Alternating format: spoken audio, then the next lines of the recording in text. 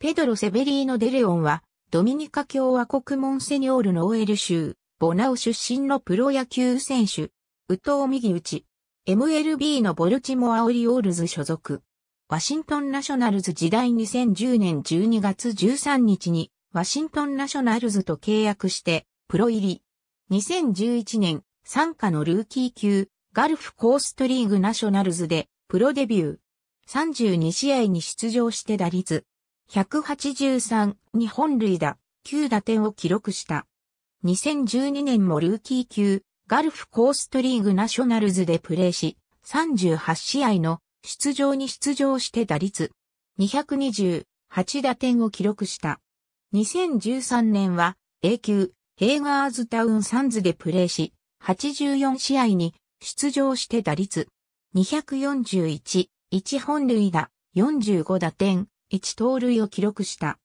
2014年は A 級ポトマックナショナルズでプレーし、94試合に出場して打率247、9本塁打、36打点、2盗塁を記録した。オフには教育リーグのアリゾナフォールリーグに参加し、メサソーラーソックスに加入。12試合の出場で打率250だった。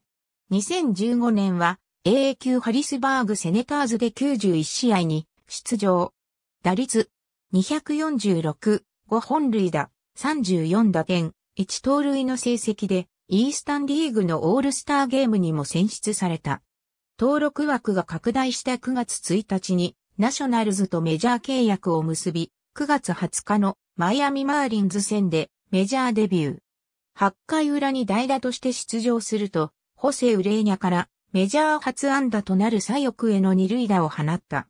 10月4日のニューヨークメッツ戦では初の先発起用となったが、3打数無安打1三振に終わった。結局この年は、この2試合のみの出場となり、打率250だった。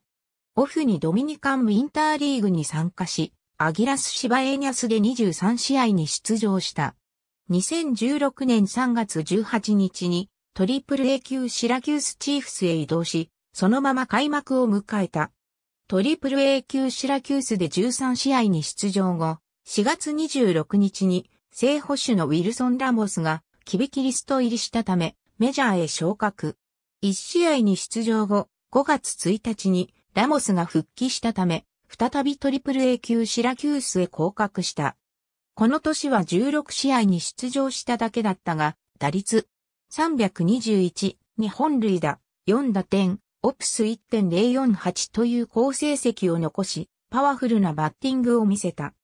ディフェンス面では、15試合で1失策、守備率、989DRS0 という成績のほか、7回、走られて3回刺し、盗塁阻止率43%という効率も記録した。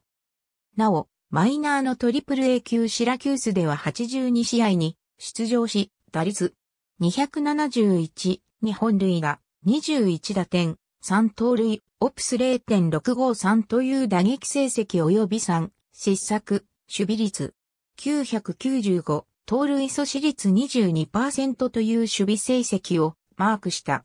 2019年3月24日にウェーバー工事を経て、ボルチモアオリオールズへ移籍した。ありがとうございます。